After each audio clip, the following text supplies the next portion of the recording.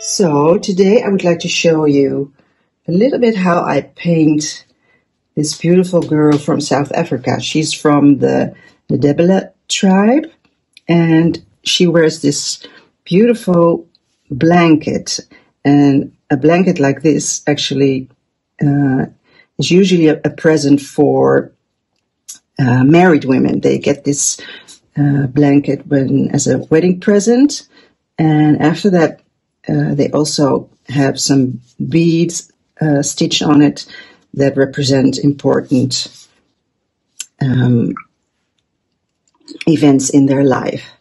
So as you can see, I'm doing this rather quickly. So the colors really beautifully can blend in to each other. So maybe I'm doing it a little bit too quick, but when you do it yourself, of course, you can take your time. Huh? But the colors are usually the same. So you see the red and the blue and the yellow that beautifully go into each other. And then you have this beautiful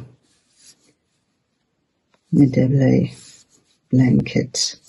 And did you know that Ndebele women are also very famous because they paint the outside of their houses with beautiful patterns. They're actually quite famous for that also. So if you can, check it out. So here we come to the last color, a beautiful sort of reddish brown, see? And well, then you can see she looks exactly like the girl from the book in her beautiful traditional Ndebele blanket.